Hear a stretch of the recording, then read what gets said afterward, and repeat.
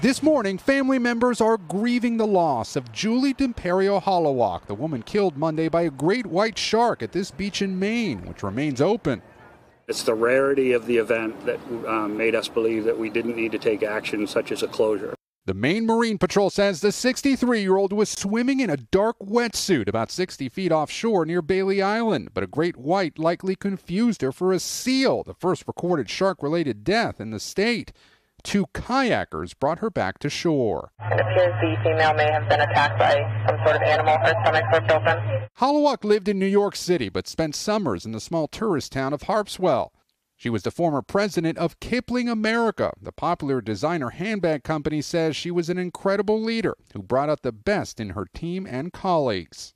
Julie and her, her husband uh, are just well known, very respected individuals, and the community is really at a just a, a tough juncture. Across parts of the Northeast, beachgoers are on edge. I'd be pretty worried. I, I wouldn't go in the water, not at least not today. On New York's Long Island, several beaches were temporarily closed after reports of possible shark sightings. The bull shark should not be treated lightly. It is a very aggressive shark uh, that can do some substantial damage. Some scientists say climate change and warmer waters in recent years are attracting more sharks to the Northeast. But Chris Fischer disagrees in this case. He's the founder of OCEARCH, an organization that tags and tracks sharks. He says researchers have followed them all the way to Canada for years. Is this due to warmer weather? I don't believe it has anything to do with warmer weather. You know, these white sharks handle a broad range of temperatures. A small shift in temperature is not going to move them a lot. It has to do, I think, primarily with the steady recovery of white sharks, which should be celebrated on the East Coast. Meaning a steady increase in the shark and seal populations over the last two decades.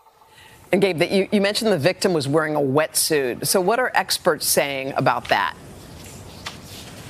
Yeah, Hoda, we always hear those warnings about not wearing shiny jewelry when going in the water. Well, experts like the one you just heard from say that people should not wear dark wetsuits because the sharks could mistake you for a seal. And authorities are also urging beachgoers to stay away from groups of small fish. But to put all of this in perspective, Hoda, the types of shark attacks like the one we saw in Maine are still exceedingly rare, Hoda. Yeah, they sure are. All right, Gabe, thank you. And you think most surfers wear those wetsuits. I mean, I just part of the protocol, yeah.